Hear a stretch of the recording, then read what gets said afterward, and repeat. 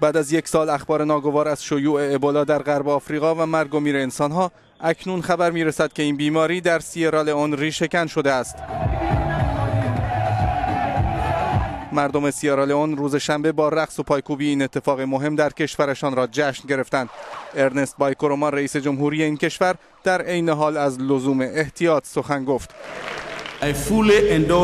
من توصیه سازمان جهانی بهداشت مبنی بر ادامه احتیاط و مراقبت شدید در سیرالئون در 90 روز آینده را به طور کامل تایید می کنم.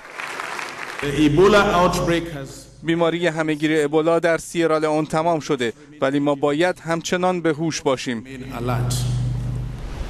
ویروس مرگبار ابولا نخستین بار در سال 1976 در آفریقای مرکزی مشاهده شد.